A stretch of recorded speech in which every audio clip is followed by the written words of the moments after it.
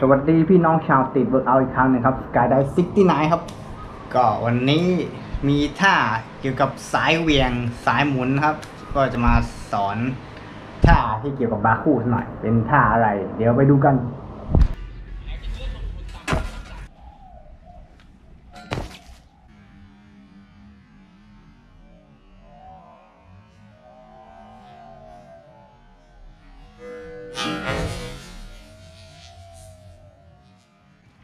ท่าที่จะมาสอนวันนี้ก็คือท่าแคลิฟอร์เนียโล Welcome to the Hotel California. มุกนี้ก็ยุค 80 90 นะครับ คงจะเข้าใจกัน แต่สมัยนี้คงจะไม่เข้าใจอะเราไปดูเลยดีกว่าว่าทำยังไง ไป ขั้นแรกนะครับก็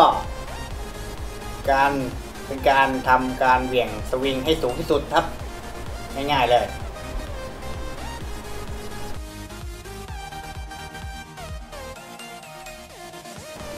อย่างที่สองก็เป็นการสวิงสูงที่สุดแล้วต่อจากนั้นก็เป็นการเหยียบบนบาร์ให้ได้ครับ